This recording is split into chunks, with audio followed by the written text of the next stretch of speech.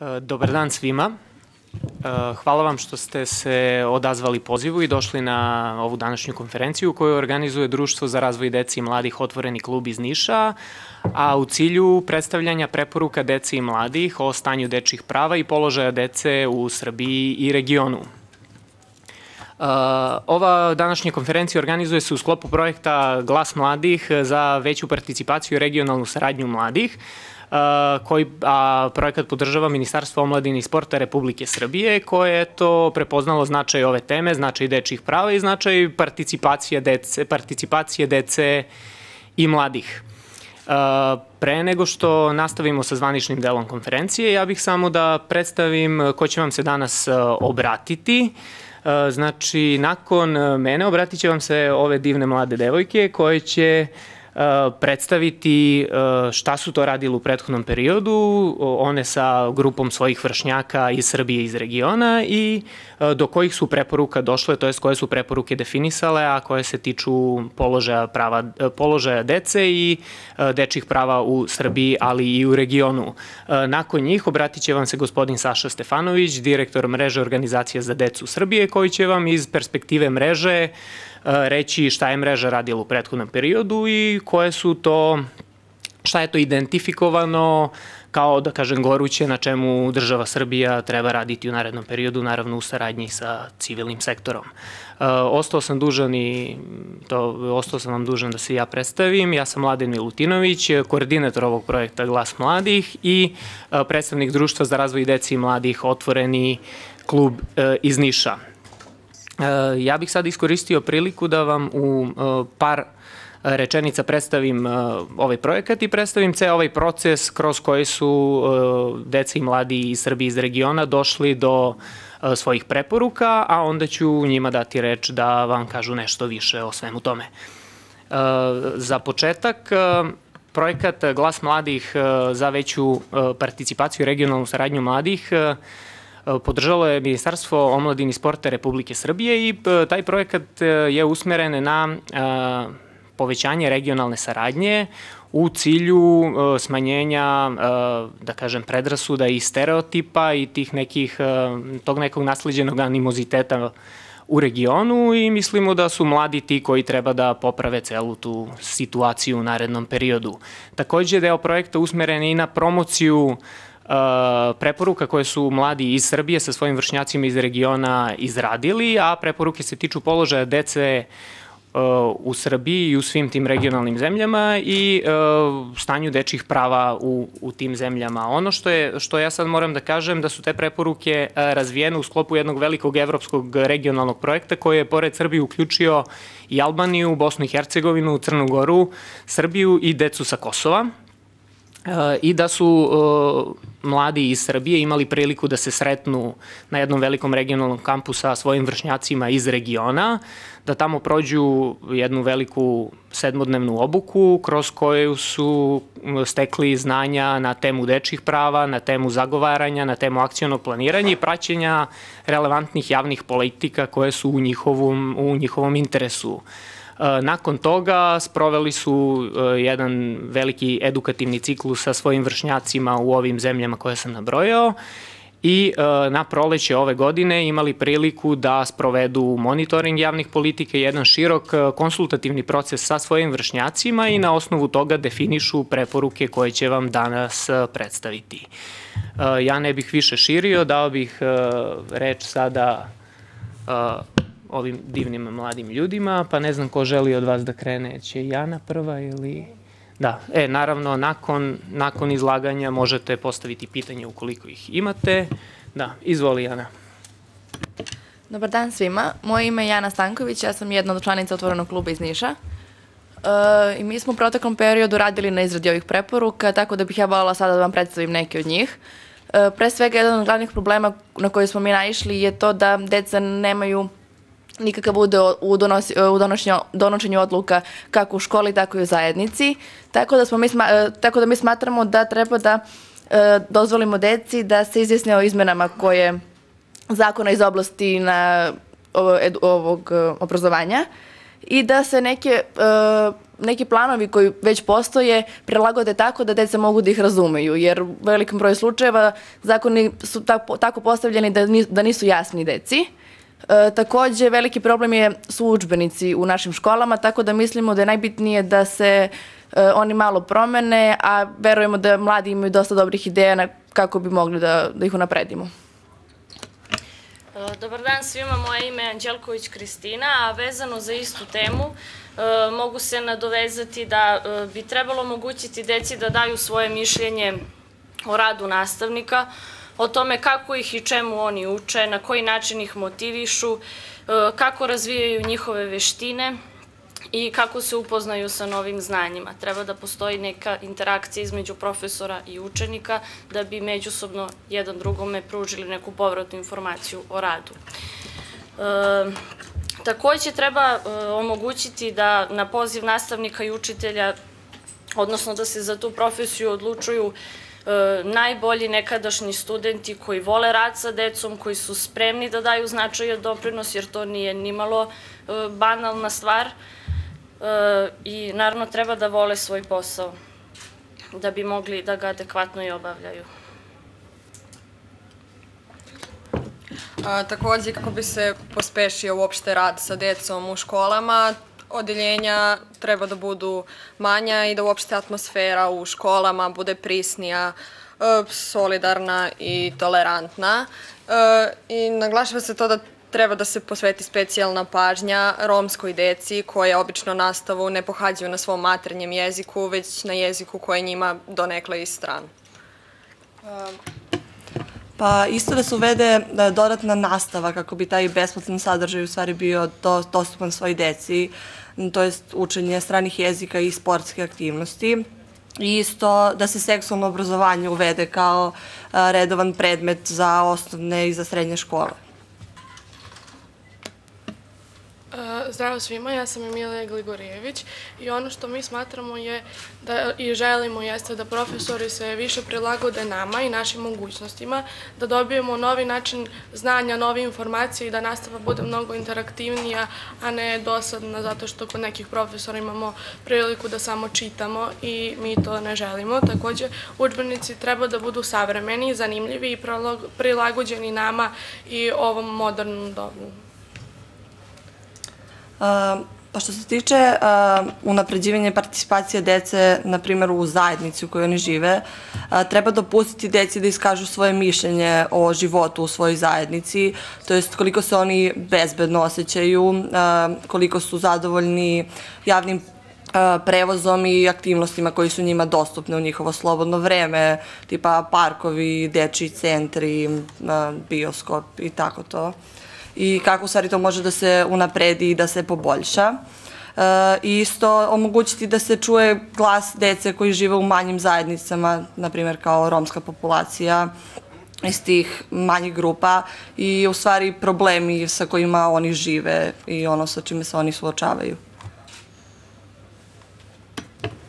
ja bih se samo na trenutak vratila i na ovu temu obrazovanja, jer mislim da nismo izlistale sve preporuke. Um, smatram da je veoma bitno da se nastavne jedinice predmeta građansko vaspitanje poboljšaju, zbog toga što se ne uči. U suštini mi ni nemamo taj predmet u školi, um, jer nije u obavezan, tako da učenici uglavnom i ne odlaze na te časove, a mislim da je veoma bitno da se u školi govori na temu diskriminacije, to jest nediskriminacije, jer veliki broj mladih ni ne zna šta je to. Zatim tolerancije, E, prihvatanje drugih mišljenja, zatim interkulturalnosti i mislim da treba da se radi na odstranjanju predrasuda e, prema nekim marginalizovanim grupama kao što su e, deca koje imaju posebne potrebe ili možda deca koje pripadaju romskoj nacionalnosti.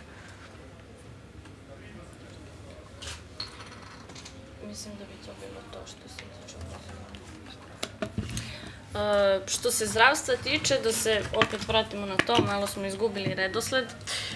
treba omogućiti svoje deci da bez diskriminacije na bilo kom osnovu i bez obraćanja pažnje na bilo kakvo lično svojstvo omogući pristup zdravstvenim ustanovama i besplatno zdravstveno bilo kakva vrsta lečenja, bez obzira na to da li imaju zdravstvenu knjižicu,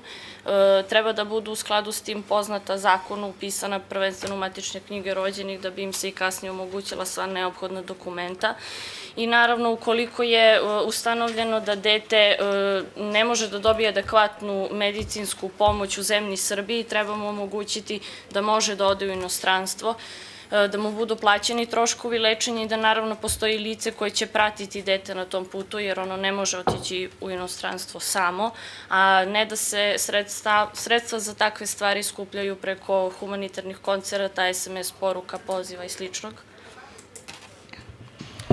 I ono što je potrebno jeste da povećamo informisanost o seksualnom, seksualnom zdravlju, seksualno prenosivim bolestima i neželjenoj trudnoći, zato što većina nas sada, uh, ako želi da se informiše o nekim seksualnim stvarima, mi to čitamo preko interneta, a te informacije u većini slučajeva, u većini slučajeva nisu dovoljno validne i pošto, e, želimo da poštojemo privatnost e, prilikom sistematskih pregleda koji se organizuju tokom pohađanja osnovne i srednje škole, zato što neki od nas ne žele da naše probleme čuju i druga deca u odeljenju zbog nekih osuđivanja ili predrasuda koji će možda neko drugi da stekne. E, takođe, što se tiče sistematskih pregleda u školama, e, treba da se osigura da su roditelji, uopšte deca, obavešteni o rezultatima tih pregleda, da slučajno nema nekog zdravstvenog problema ili koji bi mogao da se spreči. I takođe da sistematskom pregledu mogu da prisustuju i deca koje su ranije napustila redovno školovanje kako bi oni bili u mogućstvu da održavaju svoje svakodnevno zdravlje. Hvala vam. Ja bih zahvalio još jednom Emi, Ani, Kristini, Nađi i Sofiji što su vam ovako detaljno predstavili, predstavile preporuke koje su izrađene u prethodnom periodu i uh, zamolio bih vas ukoliko imate nekih pitanja za uh, naše govornice da pitate sada, možete i kasnije u suštini, nije ni to problem. Ukoliko nema, zamolio bih, ukoliko nema pitanja, zamolio bih gospodina Sašu Stefanovića, direktora mreža organizacija za decu Srbije, da nam kaže šta je to mreža radila u prethodnom periodu i e, koja su to goruća pitanja u vezi sa položajem i pravo, pravima dece u Srbiji. Izvoli Saša. Na jako lepom predstavljanju i obično je jako teško posle vaših preporuka pričati i obično kažu a, super sti, ali one su bile bolje, one su bili bolje, oni su to jako lepo rekli i dali ove, sjajne uvide, jer ne možemo mi sad kao odrasli da znamo bolje kako je sada u školi, kako je sada a, ove, biti dete i prosto ni naši roditelji nemaju neke stvari u svom iskustvu mislim da ni sad im nije jasno kako funkcioniše Instagram, šta je Viber i kako praviti grupe i šta to vi tražite na YouTube-u i šta ste tamo našli, pročitali i vidjeli i da li postoji neki filtri, neke mogućnosti. A roditelji i nažalost i mnogi nastavnici i dalje ove, čini mi se ponavljaju kao mantru ponavljaju kako smo previše dali prava deci, a sada smo čuli zapravo koja su to prava. Vam pričaju nekim obavezama i nekako gube iz vida da su to prava, eto, na obrazovanje. To obrazovanje treba da bude kvalitetno, to znači da imamo dobar odnos sa nastavnicima i da se oni potrude da to što rade ne bude dosadno da bude na, na, na, na način da uključuje vas i da prosto do znanja dođete uh, zajednički kroz, i da to znanje bude primenljivo praktično korisno i da prosto imaju u vidu današnje vreme. Ja se bojim da, da se razlike između dece dodatno a, povećavaju u našem društvu. Uh, a, upravo zbog tog novog digitalnog doba imamo sada porodice i decu, sad, nije dobro, sad verovatno sad ti ekstremi nije, to, nije, nije toliko dobro da a, kao roditelji damo, gurnemo detetu smart telefon da bude mirno dok imamo goste, ali u principu a, veliki broj dece danas ima mogućnost da preko ovaj, telefona, tableta, ima pristup internetu, YouTube-u, nekim novim informacijama, druženju, za drugačiji način se do, dolazi do komunikacije i društvenih mreža. A onda imamo, zaboravljamo da imamo ovaj, veliki broj dece koja jednostavno nemaju tu mogućnost, nemaju telefona i onda a, taj jaz i razlike postaju sve veće a, u našem društvu, što nije uopšte jako dobro. Dakle, mislim da treba da koristimo svaku priliku da uh, odrasle po, ove, podsjetimo šta su prava, na, o čemu se vi danas govorili, i da postoji jedna obaveza, a to je da svi poštujemo ono što je dogovoreno i neki konzus, konsenzus uspostavljen preko, i, form, i u vidu zakona uspostavljen. Dakle, to je, ako ja imam pravo na zaštitu od nasilja, to je pravo i odraslih i dece i nema tu previše zaštićeni ili, ili premalo. Mislim da zaštite nikad nije ove, ovaj, previše. A, mi smo imali priliku da ove, ovaj, i razgovaramo sa našim kolegama iz regiona, čuli ste koje su u pitanju zemlje i pre, otprilike delimo a, iste ajde, iste, iste, iste probleme, to su isti slični izazovi, da se ostvari pravo svakog deteta na život u porodici i da to obrazovanje bude zaista kvalitetno i da sva deca imaju tu priliku da ne samo imaju jednaku šansu, nego da zaista kad dođu u prvi raz, kad dođu u školu, da mogu ravnopravno da se uključe i sa onom decom koja od, od početka imaju okruženje, koje ih podržava, koje brine o njima, koje im ovaj, daje mogućnosti i da čitaju, i da ih vode u lutkarsko pozorište. Neke stvari koje prihvatamo uh, onako kao samo po sebi se razumeju, ali onda vidite da je to zapravo za mnogo za, nažalost, za neku od dece um, je nedostupno. Zdravstvena zaštita, zaista, tu hvala vam na, na tome što ukazali pitanje problema privatnosti, nekako napraviti tu balans i mislim da tu ovaj, roditelji imaju tu određenu brigu kao, kako moramo mi da budemo informisani, ne mogu deca da kriju od nas, ali to je sad ovaj, druga priča kako gradimo odnos sa decom, odnos poverenja i da li ovaj, možemo da računamo i da li je dobro da da neke stvari ne znamo ili znamo. A, I naravno nekako svi smo svedoci toga da se a, prikuplja novac preko SMS poruka za, da, da bismo neko dete poslali inostranstvo za lečenje i onda zaboravljamo koliko je to u suštini a, nepravedno. S jedne strane jako dobro, vidimo koliko su ljudi spremni a, da pomognu, pokazuju ne znam, svoju a, humanost i spremni su da se stvarno ovaj, potrude da se pomogne nekom detetu, ali to onda znači, zašto je to duboko suštinski nepravedno i zašto, koliko to, na tom primjeru se vidi koliko je važna uloga države, jer da mislimo onda neku porodicu iz, dajem samo primer, nekog malog mesta kao što je Svrlji kod Niša, nek, i on, oni imaju dete koje je bolesno i nema pristupa do uh, fondacija ili da ne znam nekih ljudi koji niti, niti ima informaciju, niti ima znanje, niti ima veštine da dođe do njih da se izbori, da predstavi zašto važno da se izbori svoje dete. Znači on nema, nema tu ovaj, šansu. E zato je tu važna uloga države i važna uloga zdravstvenog sistema, ne da se roditelji sami nešto lutaju, informišu, bore, nego da dobiju informaciju od lekara svog specijaliste šta, kako, na koju stranu može da dobije odgovarajuću podršku za dete. Roditelji nikad neće odustati, borit će se do poslednjeg trenutka za svoje dete. uh, pored toga, a, pored tih zajedničkih problema nekako a, se i to nam je zajedničko da grupe dece koje su najranjivije, najosjet, najosjetljivije jesu znači deca iz manjinskih grupa, posebno romska deca, deca koja žive na selu daleko od, od gradova, imaju specifične probleme, dostupnost obrazovanja, škole, putovanja, a, deca teškoćama u razvoju, a, obično kada se govori o inkluzivnom obrazovanju, onda se priča, nažalost, svede na to, inkluzivno obrazovanje je obrazovanje koje treba da omogući deci teškoćama u razvoju da uđu u školu. A u principu, mislim da je to prilika da naše škole postanu bolja mesta i da stvarno budu mesto gde ćemo učiti i neke druge stvari, ne samo lekciju iz fizike i geografije, nego da budemo građani, da budemo ljudi. I tu onda šta je naš zatak i šta možemo da, na koji način da radimo. Dakle, prosto država i institucije nikada same neće da se menjaju, a, mora neko da ih podsjeća i ako a, nik, mislim, ako niko o tome ne priča, onda nema problema i onda se ništa neće menjati. I onda je tu jako dobro, u stvari, da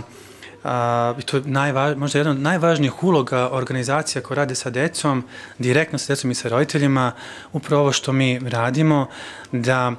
deca znaju kako da prepoznaju i predstave svoje probleme i da imaju pravo da se njihov glas čuje i njihovo mišljenje uvaži. Jer jedino na taj način možemo u stvari zajedno da gradimo neko društvo koje će graditi neke nove vrednosti i da preuzmemo i mi odgovornost. I da sad bih ih na kratko pomenuo a, govoreći odgovornosti a, jako je dobro tu, da ne zaboravimo tu poruku ako je nešto namenjeno deci. A to, mislim, imaju problem i odrasli da razumeju neke pravilnike, neke odluke, ali ako ste u pravu, to, to ne smemo da zaboravimo, ako smo nešto a, napravili za decu i zbog dece, mislim da bi to trebalo da bude razumljivo i deci i njima predstavljeno a ne samo roditeljima. Mada znam i kako i roditeljima te neke nove stvari predstavljaju na roditeljskom sastanku. Izvuku bio novi zakon, neke promjene u zakonu o osnovu svema vaspitanja i obrazovanja i oni su na roditeljskom sastanku izvukli samo to, možemo da kaznimo roditelje novčano i možemo dete da izbacimo u drugu školu ako je nemjerno. Uh, super. A druge stvari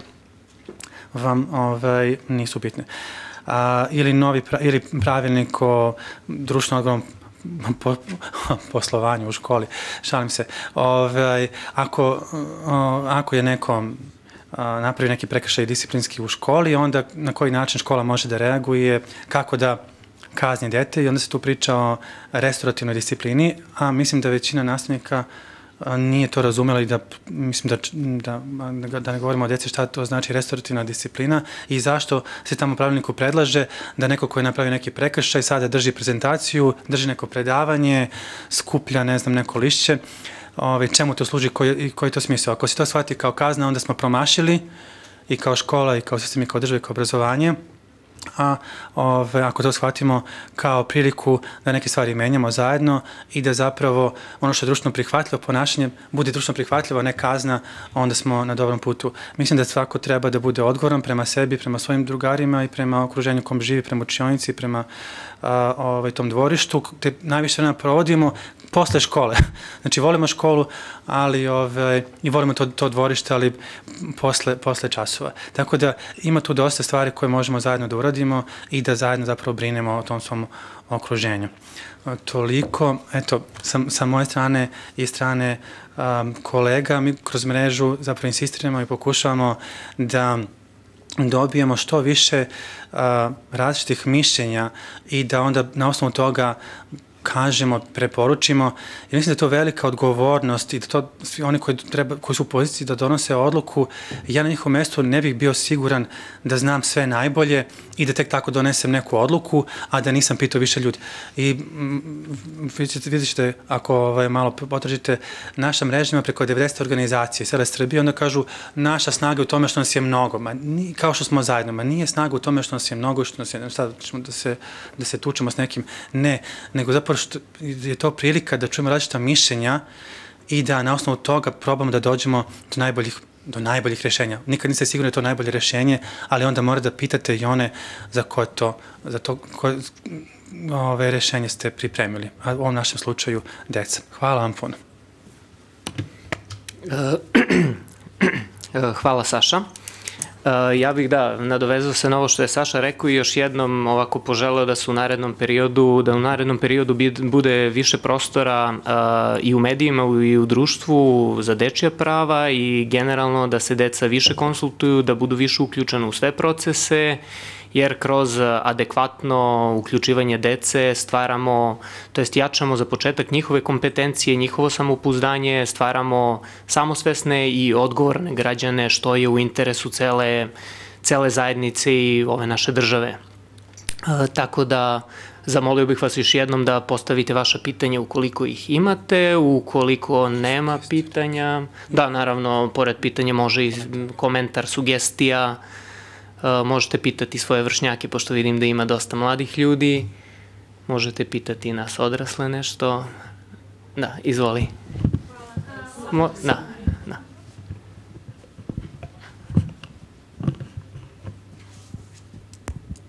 Hvala. Uh, Olga Dević, članica kluba DX uh, u okviru Centra za prava deteta. Prvo želim da se zahvalim jer stvarno je divno da, da mladi ljudi rade sa svojim vršnjacima jer najbolje ih mi razumemo i znamo šta je nekako, uh, šta su njihove preporuke i osjećamo njihovu, ono što bi oni menjali jer znamo i po svojim nekim primerima. Želim da naglasim da sve te preporuke koje ste vi dali stvarno su sjajne i eto jedna možda i slučajnost, a možda i ne jeste da trenutno se kreiraju, traže se preporuke dece za kreiranje nacionalnog plana akcije za decu. I imala sam prilike da držim radionice sa decom po Srbiji o, na njihovo mišljenje nacionalni plan akcije za decu. I većina stvari koje ste vi navali u vašim preporukama su i ta deca navodila kao nešto što bi menjali. Tako da očigledno da su i druga deca svesna toga uh, šta su nam problemi, sad je na državi da reaguje na pravi način. Jer su i ovo što vi navodite kao problemi iz obrazovanja i poštovanje stavova prava, stavova dece, a nešto što je i UN komitet za pravo deteta dao kao preporuku u našoj državi da treba da napravi neke sistemske mere da se to reši. Tako da, eto, hvala vam i stvarno svaka čast na, na ovom priručniku. Eh, hvala. Ja bih samo da dodam eh, da ove preporuke koje ste čuli danas i to što si ti sada rekla, ista je priča i sa drugim zemljama u regionu. U suštini ovo možemo da podvedemo i pod regionalne preporuke jer su problemi sa kojima se mladi suočavaju u Srbiji, ali i u regionu manje više, manje više slični, da ne kažem baš identični, ali to je u suštini to. I opet naglašavam važnost toga da se vi konsultujete, jer odrasli ljudi uh, redko kad imaju dovoljno uvida u to šta mladima zaista treba i kada pravimo neke strategije, razvijamo neke politike, mislimo da sve najbolje znamo i nekako mislimo da znamo šta je najbolje za, za vas mlade, a tu je u suštini onako osnovna greška. S druge strane bih takođe napomenuo i važnost e, vaše edukacije, jer da bi dobili adekvatne informacije sa vaše strane moramo vas adekvatno i edukovati i nadam se da će biti više ovakvih prilika u narednom periodu i da će biti više procesa konsultacije i da ćete i vi sami nekako uh, postati svesni da je važno da se i vi pitate, a na nama je da vam omogućimo da se i vaš glas čuje u budućnosti. Ove, hvala puno na ove javljanju intervenciji. Uh, Samo bih podsjetio, meni se jako dopala jedna preporuka iz Crne Gore dece koje su rekla, ha, imamo nacionalni plan akcije za decu, ali to nije plan za decu, to je plan odraslih. Tako da je ovo zapravo sjajno, da imamo, da imamo sada unapred pripremljeno a, ne, mišljenje dece, resno, preposledno istraživanje, a, jer nekako de, deca su baš onako proaktivni i aktivni. Mi smo imali jedan sastanak i sad bilo su neka deca, sad mi nešto pričamo, pričamo i na kraju kažu pa dobro i šta ste, kao, šta ste se vi dogovorili na kraju? Ili ima sad to neka akcija, šta će posle toga da se radi? I sada odrasli a, su napravili neku svoju radnu grupu za rad na akcijnom planu za decu ali nikako da krenu ovaj, u čitavu tu priču i ovo što vi budete radili, verovatno će nam pomoći da bude poslije da kažemo, vidite, evo, deca su već preuzela deo svoje odgovornosti, već su nešto uradili i ovo može da nam bude dobra osnova sad za naš rad. Tako da računamo molim te, ovo imate u vidu, na, jako će nam biti važni i vaši rezultati i dobro da imamo i ovu proveru da, da se to stvarno poklapa i da nismo ovaj, promašili. Hvala Saša. E, da li ima još nekih komentara, sugestija, pitanja? Da, e, da li vi želite još nešto da dodate? Da, to je, pa mislim da je Izvoli. takođe problem što dovoljno ljudi nije, ne zna za ove u stvari probleme koje, sa kojima se deca suočavaju, zato što, na primer, um, Ja za ove probleme znam zbog toga što idem u otvoreni klub i što sam sada čitala o njima. Ja na drugi način ne bih saznala za ove probleme. Naprimjer, sada sam pročitala u ovom priručniku da, na primjer, Srbija je uh, jedna od um, po stepenu siromaštva um, na, ima najveće, jedno od najviših stepena siromaštva a, za decu u Evropi ili, na primjer, za romsku populaciju, da devojčice, da do 70% devojčica imaju ugovoren brak dok su mlađi od 15 godina, um, za deca u posebnim ustanovama, svi ti neki problemi za koje ja ne bih saznala da nije bilo ovoga, a dovoljno ljudi ne zna za to, a mislim da je to jako bitno, jer u suštini ako dovoljno ljudi ne zna, mm, nema niko da pomogne, tako da ima smisla. Hvala Nađa. Da, tu je u suštini velika i jako bitna uloga civilnog sektora, konkretno i mreža organizacija za decu Srbije, to koja se bavi pitanjima dece i okuplja organizacije koje rade za decu i sa decom, da vrši pritisak na državu, Da, da se čuje glas dece, ali i da eto, to što dobijemo sa vaše strane, da damo njima i da se trudimo da se to uvaži, a sa druge strane i da država radi na edukaciji i roditelja, a i dece i da adekvatno distribuiraju sve informacije koje su bitne za decu, za roditelje i za sve ljude koji rade sa decom, nastavnike i širu zajednicu. O, ovo je sjajno što si upravo rekla, zato što se tu vidi koliko je važno građansko obrazovanje i meni je stvarno zapravo žao. Prvo, što sva deca nemaju priliku da dobiju da, mi, da čuju ono što bi trebalo da bude na građanskom obrazovanju i da uopšte, iako imamo priliku, da se to dovoljno ne koristi, a vrlo je važno. Mislim, upravo vidimo iz ovih, iz ovih stvari koliko je to važno i da to bude a, jedan predmet koji će nama pomoći da se a, da budemo stvarno građani, da budemo prepoznati kao neko ko imajte kako šta da kaže na koji način. A, da li još neko želi da doda nešto? A, još jednom pitanje za sve, komentar, sugestija, pitanje,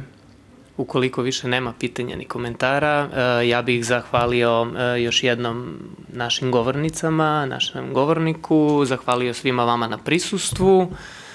i e, da, zatvorio bih zvanično ovu konferenciju sada i eto, pozvao vas da, da, da pratite šta radi mreža, šta radi Otvoreni klub, šta rade druge organizacije koje se bave decom i dečim pravima u Srbiji i nadam se da ćemo se sresti, sresti ponovo uskoro. Hvala još jednom na prisustvu, prijetno.